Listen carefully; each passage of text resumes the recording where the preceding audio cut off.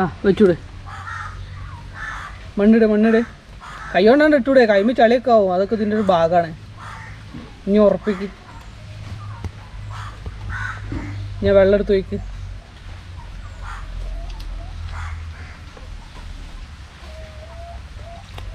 കുറച്ചും കൂടി. അടിപൊളി. ചിരിച്ചാ? June five. പരിസ്ഥിതി ദിനം. ആക്ച്വലി ഞാൻ എനിക്കിന്ന് ഒന്ന് രണ്ട് മെസ്സേജൊക്കെ കിട്ടി. നമ്മളെ ചാനൽ ഇങ്ങനെ പ്ലാന്റ് റിലേറ്റഡ് ആയിട്ടുള്ള ഒരു ചാനലാണ് അപ്പോൾ ഇങ്ങനൊരു വീഡിയോ പ്രതീക്ഷിച്ചു എന്നൊക്കെ പറഞ്ഞിട്ട് ഒന്ന് രണ്ട് മെസ്സേജൊക്കെ കണ്ടു വാട്സപ്പിൽ. അപ്പം ഇതിപ്പോൾ ലാലുവിന്റെ സ്കൂളിലേക്കുള്ള ഒരു ഫോട്ടോ എടുക്കലാണ്. അപ്പം ഇതിങ്ങനെ കൊല്ലത്തിൽ ഒരു ദിവസം എല്ലാ കുട്ടികളെ കൊണ്ടും വെള്ളം വെള്ളം ഇട്ട് വലിയ ആൾക്കാരെ കൊണ്ടും കൈക്കോട്ട് എടുത്താണ്ട് പബ്ലിക്കിൽ ഇറങ്ങിക്കാണ്ട് രണ്ട് കുയ്യും കുത്തിക്കാണ്ട് ഓരോ തെയ്യും വെച്ചിക്കാണ്ട് അതിന്റെ ഫോട്ടോ എടുത്ത് വാട്സപ്പിലും സ്റ്റാറ്റസും ഫേസ്ബുക്കിലും സ്റ്റോറിയൊക്കെ ഇട്ടുകൊണ്ട് മാത്രമായില്ല അതൊന്നല്ല പരിസ്ഥിതിക്ക് പാര പണിയുന്ന ആളുകളാണ് ഏറ്റവും കൂടുതലുള്ളത് ഏഹ് അത് പകുത്ത് നൽകുകയാണ് വേണ്ടത്. അതിവിടെ ആരും ചെയ്യുന്നില്ല. ഫുള്ള് നശിപ്പിക്കലാണ്.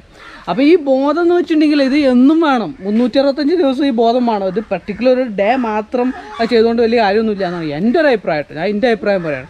അങ്ങനെ ഒരു ഡേ വേണം വേണ്ടെന്നല്ല. അതൊക്കെ ഇതുപോലത്തെ കുട്ടികൾക്ക് ഒരു പ്രചോദനമാണ്. അത് കണ്ടില്ല? അവിടെ കൊണ്ടേക്കാണ്ട് വെള്ളം ഒഴിച്ചാലും ചുറ്റുപറ്റി ഇങ്ങനെ അതൊക്കെ അവരുടെ ഒരു എക്സ്പീരിയൻസ് ആണ്.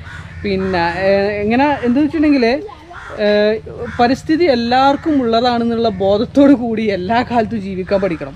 ഏഹ് അപ്പോൾ നമ്മളൊക്കെ എന്ന് വെച്ചിട്ടുണ്ടെങ്കിൽ നമ്മൾ ഈ പ്ലാന്റ് റിലേറ്റഡ് പ്ലാന്റുകളൊക്കെ ഇഷ്ടപ്പെടുന്ന ഒരാളായതുകൊണ്ട് ഈ പരിസ്ഥിതിയെ നമ്മൾ ഇഷ്ടപ്പെടും സ്വാഭാവികമായിട്ടും.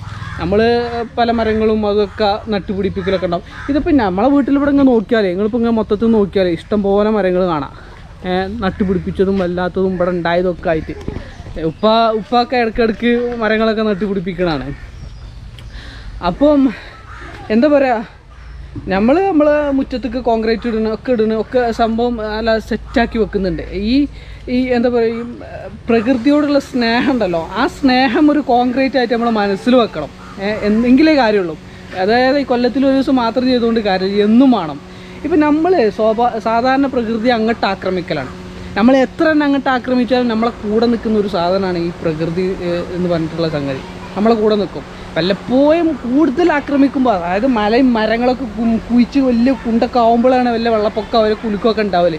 ഏഹ് മാക്സിമം അവർ നമ്മളെ കൂടെ നിൽക്കുകയാണ് ചെയ്യാൽ അപ്പോൾ എന്ന് വെച്ചിട്ടുണ്ടെങ്കിൽ പരിസ്ഥിതി ഉപയോഗിക്കാൻ മാത്രമുള്ള ഒരു സംഗതിയല്ല അത് സംരക്ഷിക്കാൻ കൂടി ഉള്ളതാണെന്നുള്ളൊരു ബോധം കൂടി ഉണ്ടായിക്കാണ്ട് വേണം അതിന് ചെയ്യാൻ. ഇതൊന്നും പറയാൻ നമ്മളാരുമല്ല. പക്ഷെ ഞാൻ എന്തായാലും ഇപ്പോൾ ഇവർക്ക് കുട്ടിക്ക് വേണ്ടിയിട്ട് ഒരു വീഡിയോ എടുത്തപ്പോൾ അപ്പോൾ എന്നാൽ പിന്നെ ഇങ്ങനെ ഒരു വീഡിയോ നമുക്ക് അപ്ലോഡ് ചെയ്യാമെന്ന് വിചാരിച്ച്. അത്ര ഉള്ളൂ. അപ്പോൾ പരിസ്ഥിതി എന്ന് പറഞ്ഞ സംഗതി മുന്നൂറ്റി അറുപത്തഞ്ച് ദിവസം വേണം. ഇന്ന് ഒരു ദിവസം മാത്രം വന്ന് ചെയ്താണ്ട് നിങ്ങൾ പോലെ ഒരു എന്നിട്ട് ഇപ്പം ഈ എല്ലാവരും ഇപ്പം ഈ ഈ എന്താ പറയുക വെള്ളിയും വെള്ളിയും കുപ്പായമൊക്കെ ഇട്ടുകാണ്ട് നല്ല ചൊറുക്കുള്ള കുപ്പായമൊക്കെ ഇട്ടുകാണ്ട് എല്ലാവരും വിളിച്ചുട്ടിക്കാണ്ട് ഒരു കുഴി ഒരു ചെടി വെക്കും. എന്നിട്ട് അതിന്റെ മേലെ കൂടെ നാളെ വേറെ വണ്ടിയും ഇതൊക്കെയാണ് കയറ്റി വിടുകയാണ്. ഇന്ന് മാത്രമേ ഉള്ളൂ ആ കെയർ നാളെ അതിനെക്കുറിച്ച് ഒരു ചിന്തയില്ല. അതാണ്. ഇതിപ്പോൾ എല്ലാവർക്കും വാട്സപ്പിൽ സ്റ്റാറ്റസ് വെക്കുക അതേപോലെ ഫേസ്ബുക്കിൽ ഫോട്ടോ ഇടുക ഇതിനു വേണ്ടി മാത്രം ചെയ്യുന്നതാണ്. അത് അങ്ങനെ ആവരുത്. ഏ? അത് നമ്മളുടെ ലൈഫിന്റെ ഒരു ഭാഗമായിട്ട് മാറണം. അത്രേ ഉള്ളൂ നമുക്ക് പറയാനുള്ളത്.